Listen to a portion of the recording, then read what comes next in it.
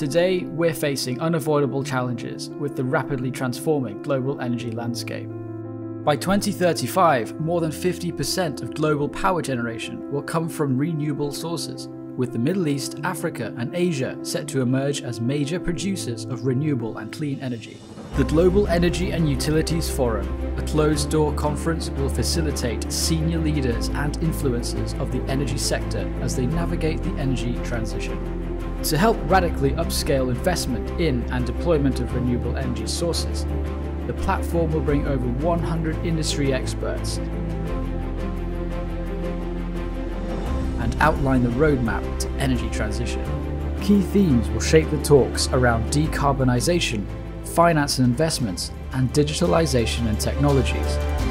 Get ready for a three day immersive experience featuring keynote sessions, panel discussions, and fireside chats.